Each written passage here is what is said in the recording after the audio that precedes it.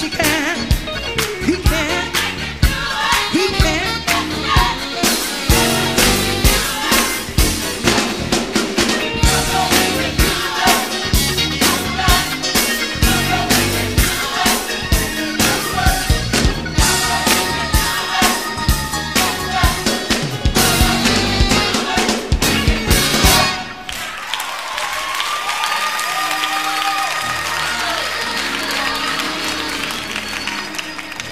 Us to think about the word that God can do it.